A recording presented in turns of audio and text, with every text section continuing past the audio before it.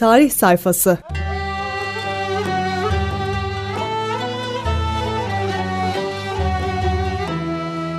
Itri.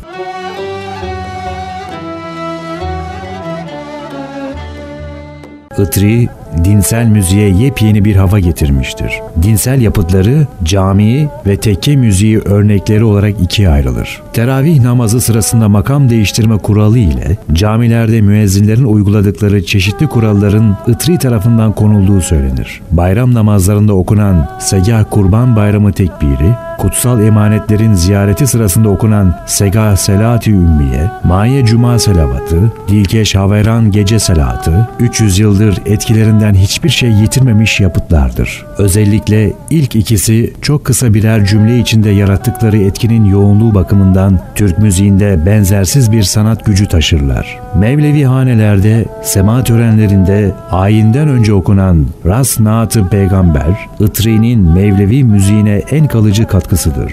Güftesi Mevlana'nın bir şiirinden alınan yapıtta, güfte ile beste yetkin bir biçimde bütünleştirilmiştir. Bu naatın bestelenmesinden sonra Mevlevi hanelerdeki her sema töreninde okunması bir gelenek haline gelmiştir. Segah ayini ise bu türün ilk güçlü örneklerinden biridir. Günümüze ulaşan yapıtların çoğunda mistik bir hava vardır. Bu yönü bir ölçüde Mevlevi olmasına bağlanabilir. Seçtiği formlar için en uygun anlatımı bulan Itri, cami müziği olarak bestelediklerinde derin bir dindarlık duygusunu, Mevlevi müziği yapıtlarında tasavvufi bir içe dönüş heyecanını dile getirmiş, din dışı yapıtlarında ise yoğun müzik cümleleri arasında beliren düşünceli ve düşündürücü bir tavrı benimsemiştir. Sanatı değerlendirilirken, üslubun niteliği ile yapıtlarındaki teknik özellikler birbirine bağlı iki düzey olarak ortaya çıkar. Itri'nin müziği 17. yüzyılda henüz oluşum aşamaları içindeki bir müzik üslubunda klasik diye nitelendirilebilecek özellikler taşır. Kişisel duygu ve düşüncelerini dile getirmediği, bütünüyle kendine özgü, kişilikli bir anlatım yaratabilmiştir.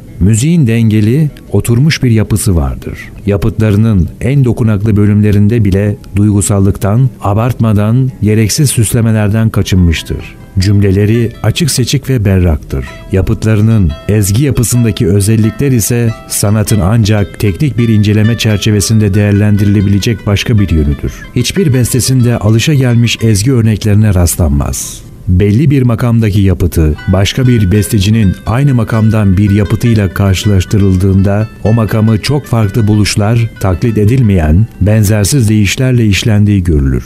Bir makama bağlı müzik cümlelerini sadece komşu perdelerden yararlanarak geliştirme kolaycılığından kaçınmış, en uzak perdelere dek uzanarak zor olanı gerçekleştirmeyi yeğlemiştir. Böylece ezgilerini dar bir ses alanı içinde kalmaktan kurtarmıştır. Onun müziği bu bakımdan makam ve geçki zenginliği taşır. Bu zenginlik kullandığı usuller içinde geçerlidir. Notasıyla günümüze ulaşamamış parçalarının güfteleriyle usullerini veren eski kaynaklarda çok ender kullanılmış usullerde bile yapıt bestelediği görülmüştür. Itri, Şeyhülislam Esat Efendi'nin belirttiğine göre bini aşkın beste yapmış olan çok verimli bir bestecidir. Bunların bir çoğunluğu unutulmuş ya da kaybolmuştur. Bugün ancak 40 dolayında yapıtı bilinmektedir günümüze kalan pek az yapıtıyla bile bugün de klasik Türk müziğinin en başta gelen birkaç ustasından biri kabul edilmesi sanatındaki olağanüstü özelliklerin bir sonucudur.